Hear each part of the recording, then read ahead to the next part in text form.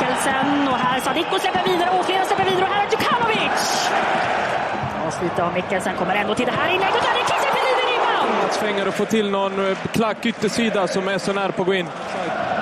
Ceesay sätter fart, in lite mot Nanasi som försöker ta sig fint vidare. Här är Sebastian Nanasi. Flaggan kommer upp när Vecchia avslutar. Som ska bollen.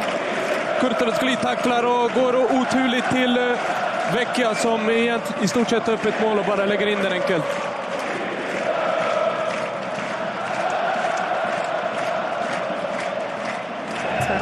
Första hörna då.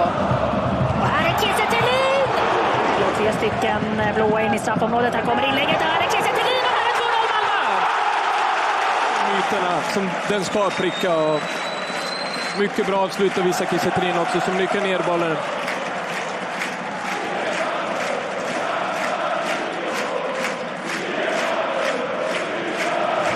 Mot Anders Christiansen. Fritt spelat ännu en gång av Malmö. Och här är Stefano Vecchia som tar sig in i straffområdet. Fastnar på Fenger men får ändå in bollen till Isak Kiese Thelin!